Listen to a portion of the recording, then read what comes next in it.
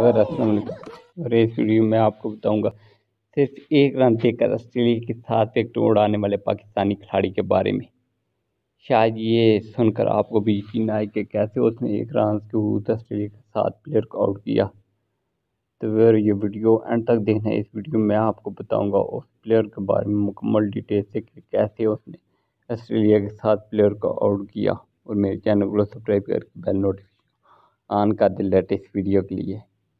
और वो पाकिस्तानी सबक फास्ट बॉलर सरफरान नवाज़ थे, जिन्होंने अपनी तेज़ और घूमती गेंदों से ऑस्ट्रेलिया क्रिकेट टीम के छक्के छुड़ा दिए थे। पाकिस्तान टीम तैंतालीस साल कबिल सन उन्नीस सौ उनासी में मुश्ताक मोहम्मद की क्यादत में ऑस्ट्रेलिया के दौरे पर गई। इस मौका पर मेलबर्न में पहला टेस्ट खेला गया, जिसकी दूसरी इनिंग में माजिद खान की शानदार सेंचुरी की बदौलत पाकिस्तान ने तीन सौ तिरपन रन बनाकर ऑस्ट्रेलिया को तीन सौ बयासी रन का हदफ दिया था। इस मैच में पाँचवें दिन हिंचाई के वक्फे तक ऑस्ट्रेलिया क्रिकेट टीम का तीन विकेटों के नुकसान पर तीन सौ पाँच रन का स्कोर और बजाय ऑस्ट्रेलिया को जीत के लिए आसान तरीन हदफ दिखाई दे रहा था।